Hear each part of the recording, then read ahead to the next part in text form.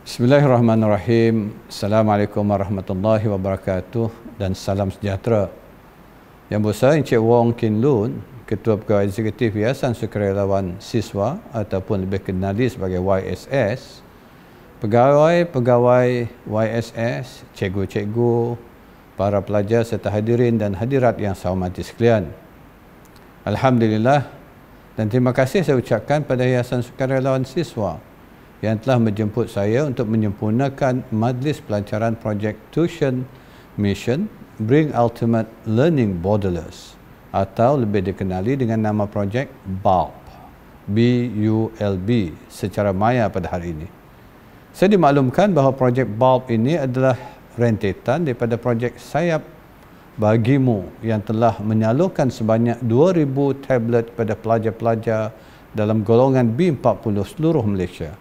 Saya juga difahamkan bahawa pelajar-pelajar di negeri Sarawak telah menerima sebanyak 200 tablet yang disalurkan melalui Jabatan Pendidikan Negeri Sarawak. Daripada sumbangan tersebut, para pelajar juga diberi peluang untuk menyertai kelas tuition percuma yang telah dianjurkan oleh YSS dan juga Yayasan Peneraju dengan kerjasama ION, Yayasan Telekom Malaysia dan Jabatan Pendidikan Negeri. Tahun ini, adalah tahun yang sangat mencabar bagi seluruh dunia termasuklah negara kita akibat penularan pandemik COVID-19. Pelbagai sektor kini berdepan dengan situasi sukar termasuklah sektor pendidikan. Namun kita percaya negara kita kini berada di landasan yang betul ke arah pemulihan insya-Allah. Dalam hal ini setiap perancangan dan pelan tindakan pendidikan harus diteliti dan diperhalusi bagi memastikan sektor pendidikan di negara kita dapat melaksanakan fungsinya secara penuh demi memacu kecermelangan masa depan pendidikan para pelajar di negara kita.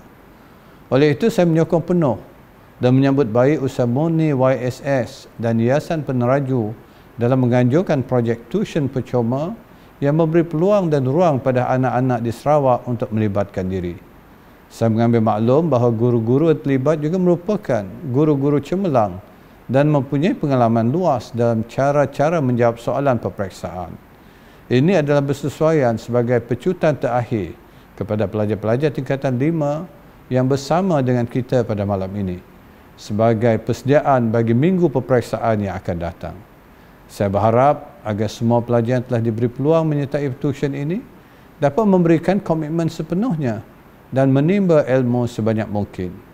Memandangkan kelas tuition ini hanya dilaksanakan seminggu sekali mengikut negeri, saya yakin dan percaya para pelajar tidak mempunyai masalah untuk melibatkan diri sepanjang projek ini berlangsung. Sebelum mengakhiri ucapan, saya mendoakan agar semua pelajar tingkatan 5 yang bakal menduduki peperiksaan dapat melakukan yang terbaik dan akhirnya memperolehi keputusan yang cemerlang insya-Allah. Dengan lafaz bismillahirrahmanirrahim, saya melancarkan projek tuition mission BOB 2021 bagi negeri Sarawak. Sekian, terima kasih.